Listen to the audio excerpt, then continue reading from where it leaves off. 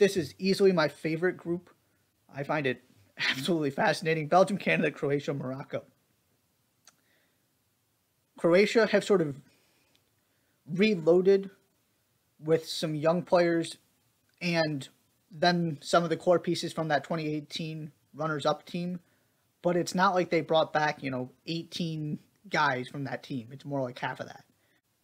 And that it's still a Kovacic, Brozovic, Modric midfield, which is just incredible. And if you have that kind of midfield, you have a chance to win this tournament and get back to another World Cup final. I, I, there's plenty of enough talent around them. I want that. I want my midfield, and they've got one of the best in this tournament.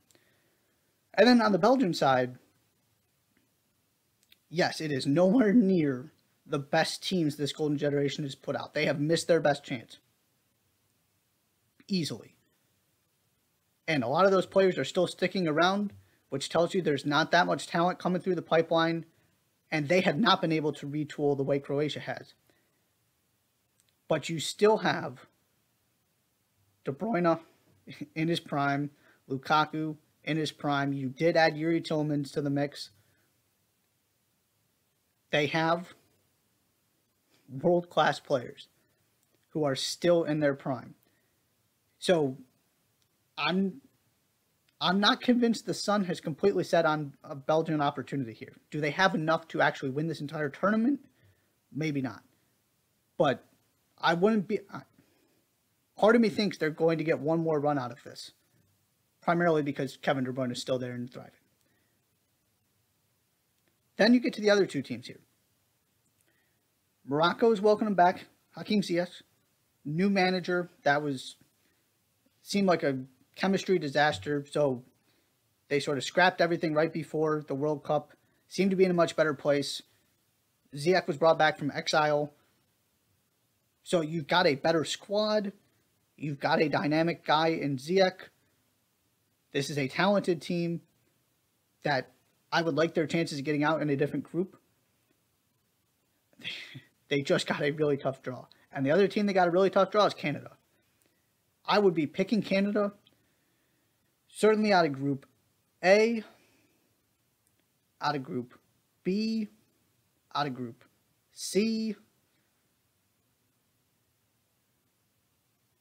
Just off the top of my head there, and those weren't the only ones. Probably out of at least half of the groups, I would be picking Canada to go through. They are to me, probably the best third, quote unquote, third team in a group. And so, if Croatia, for some reason, you know, Perisic, Modric just don't have the legs for whatever reason, if De Bruyne gets hurt and all of a sudden Belgium is not the same team, if something happens, Canada is going to be right there. Similar to what I was talking about with Japan.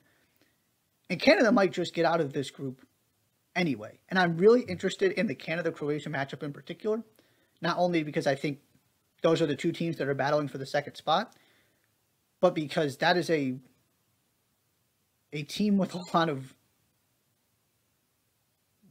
you know traction and wear on your your body in terms of the Modric's and Perisic's of the world against the pace and one-on-one ability of Alphonso Davies, of Tajon Buchanan, Cyle Larin, Jonathan David. This Canada team is really, really good. They're going to be even better in 2026. But don't don't sleep on Canada.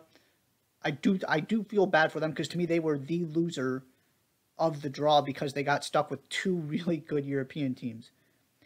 But from top to bottom, this is easily the most balanced group for me. So that's Group F.